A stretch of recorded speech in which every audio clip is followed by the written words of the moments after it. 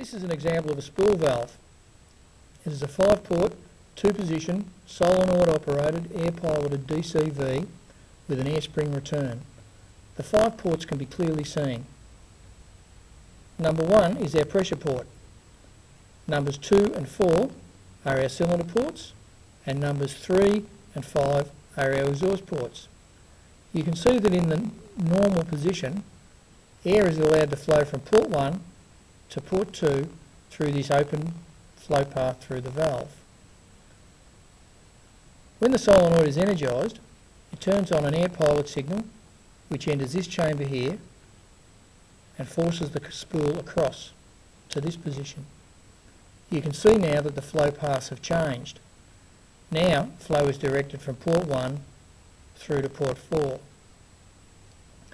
When the solenoid is de-energised, the air pressure in this chamber here will force the spool back to the normal position, again reverting to the flow paths from 1 to 2.